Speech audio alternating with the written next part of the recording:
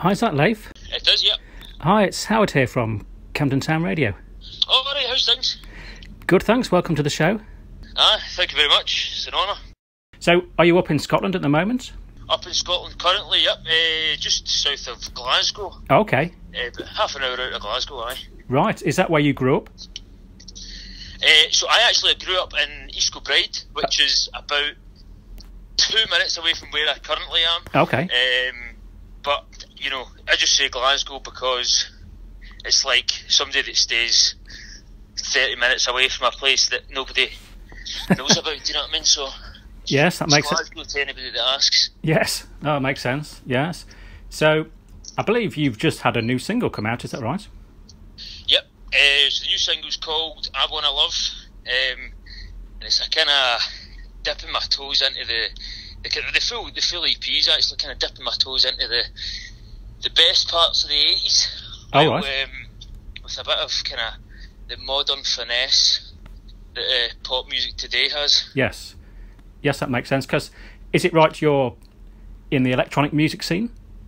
Yes. So I, I mean, I would say it's probably like quite electronic pop. Yes. because I do like I do like electronic music. I love pop music, and I just like catchy songs. You can't beat a good catchy song. Yes. Oh, yes, definitely. Yes. And I believe the electronic music scene is, is very strong in Scotland.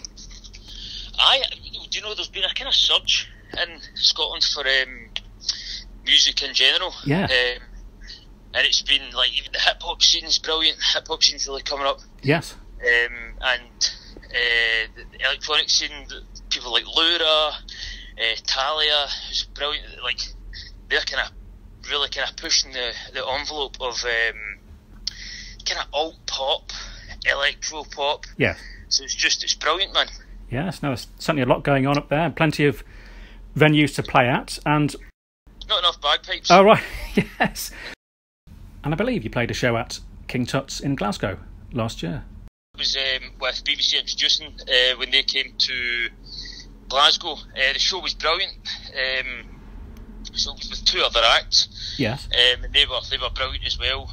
Um, so that was it was a class night. It's kind of nice after COVID to get everybody together. Oh, yeah. Um, even even still, I know that it's kind of been maybe like just under a year since we've all kind of came back, but it's it's good because you make contacts, contacts that have been made over the last kind of few years. Yes. Now you're starting to kind of see everybody, so it's nice that the scene is kind of coming alive again. Yes. Because I'll remind our listeners that many years ago the band Oasis were, well, they were signed Yes, at the venue King Tut's. they were signed by Alan McGee, who was. Alan McGee, yes, Alan McGee. It's a girl that I know's uh, uncle actually. Oh, right. And, Okay. uh, so that conne- was basically like the the start of their career. Yes. Which is, so King Tut's is it's obviously historical. It's got a brilliant name. Yes. Uh, so it was, brilliant playing there. He's actually from East Kilbride, which Is is, the the town where I'm from. That's Ah. it's uh, not given enough recognition because everybody says that it's Glasgow, which of course would never be me. I would, I would always pay homage to, to my roots. Yeah. It's nice to that a successful person has come out of this small town. In terms of influences, do you have any musicians from Scotland that have influenced you? Would you say? Well, so my my great uncle, he was um, he was in a band called the GSD band. Okay. Um, Yeah. and they were kind of, I mean, they were touring with Bowie in the, 60s or 70s. I can't remember when exactly it was, but um, so I would say the influence is almost in the genes. Yes, you've got a musical family. Exactly. So it's kind of it kind of makes it a natural progression for me to just kind of start getting into it. But Yes. um, from Scotland, I mean, even the Jesus and Mary chain, Yes. brilliant. Um, it's nice to just kind of know that that occurred, and that there, there is hope. Yes, There is hope for us yet. that's right. Yes. Now, I guess a lot of those artists eventually made their way to the south to do to play shows. So, is that something you'd like to do in the future? To come down to London and do some shows down here? Oh, absolutely. I think um, do a wee kind of tour in the summertime. All right. um, and then we'll be stopping off various locations where nobody has an absolute clue who, I- who, who I am. But I'll I'll put on a show and I'll recruit some. I'll recruit some fans.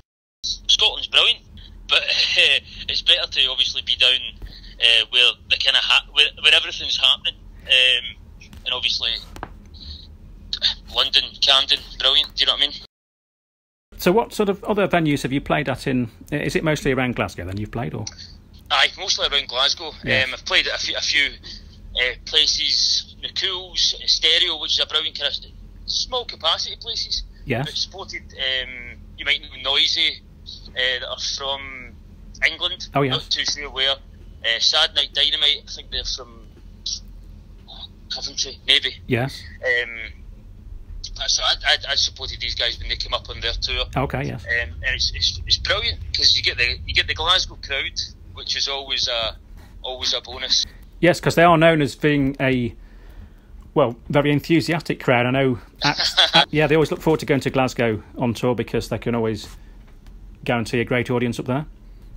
A hundred percent. I think there's there's something about the mentality of um, Scottish people that's just a bit kind of unhinged, shall we say? So um, the the manifestation of that come, comes out in its full form.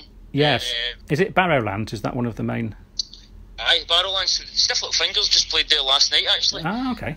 Um, they do a kind of show every every St Paddy's Day, so Oh, right. I think that was. But Bar- Barrowlands is brilliant. That's I would love to play the Barrowlands. Yes. I mean, it's called Barrowlands because it used to be an old uh, market. Oh, okay. Wheelbarrow. People would sell things on the wheelbarrows, Ah, right. and then it just kind of became the Barrowlands. Oh, I see Or that. the Barras. So it's, there, there's a wee there's a wee history lesson. Yeah, that's interesting. I didn't know that. Yeah. Impromptu history. Yeah. And I I believe you've got quite a following on TikTok. Yeah, it's just kind of accumulated, like probably most people on TikTok over over lockdown. I just started posting nonsense comedy sketches, Yes. um, and then it accumulated a, a kind of a wee kind of group of followers. Uh, so now, aye, that's a kind of the other avenue, uh, or the other, sorry, the other uh, face to Yeah. the to the game, I suppose. Where Oh, it's yeah. just there's the music, and then there's these comedy sketches, and just uh, as soon as people have had a laugh, then they get sent over to the to listen to the real the real goods. Now you did mention that you've you have an EP out as well. Is that right? So the, yeah, so the first two singles are now out. Um, so the first one was called "Feel It." Yes. Uh, this one's called "I Wanna Love." The next one coming up is called "Falling in Love Again." And that's with uh, a producer artist called um, Watto. Oh yeah. Recently, just did a, a, a tune with um, Sophie Ellis Bextor. Oh okay. Yes. There's a wee impromptu Ah. um, song for you there. All right. Um, and then, so we've got that tune coming out next, which is, if I don't say so myself, a banger. Right. Um, so the full EP should be out July time ish. Um, so that's exciting. I'm really, I'm really looking forward to that. Yes. Kind of being out. You were saying you're hoping to get down to London this summer. Absolutely, and hopefully before then, just for some meetings, some uh, recce, Yes. um, just to kind of see what's what's going on, so that when when the time comes, when the shows are ready to happen, it's all systems go. I'm a big fan of Amy Winehouse, so I, I think, uh, in fact, the, the, so the, the, the singer RAYE that uh, did uh, Escapism, Oh yes. those two are very, very similar in their kind of uh, demeanour In terms of your performance, are you performing with other musicians, or what's your stage setup? So I actually, the the band is going through a bit of a revamp just now. So Okay. a couple of couple of the members are part of two other bands. So it's just there's a bit of time juggling that's having to go in there. So Ah yes. from now on, my dad will be on the guitar, Oh, right. absolutely shredding the guitar. Right. Um, there will be a, a, a bassist and then a drummer, and then I have I'll play a bit of guitar, Yes. guitar, um, and then on so I, I have played with my laptop as well. Okay. Yes. Um, so we just get some kind of because I'm coming at it from the, the producer side, so Yes. I want everything to sound like how it sounds in the final track. So there'll be some effects or um, just extra kind of features in the track that can't be played live. So that'll be I'll be making sure that that is 100 percent in the in the final live show. It sounds like you've been interested in, in music your whole life, have you? It's always been a a passion? Oh yeah, I, I mean, ever kind of since I can remember, it's always been um, a big kind of feature in my whole family's life, really. Because Yeah. we come from a kind of uh, uh, Irish Catholic upbringing, so it's like it's all about kind of family and music, and uh, so it's always been parties um, where we're all just kind of crowding round, playing playing guitar, Okay. singing singing the Irish songs. So uh, it's always been it's always been very prominent. All right, so you got into music in an organic way, really, with family Yeah, gatherings yeah, and, yeah. and music being played. Yep, absolutely. Yeah. Always instruments around the house. Well, thanks, Leif, for joining us on the show today. We wish you the best with the upcoming EP and also your shows later this year. Well, thank you very much for having me. It's been a pleasure chatting. I'm Leif Coffield, and this is Camden Town Radio keep rocking.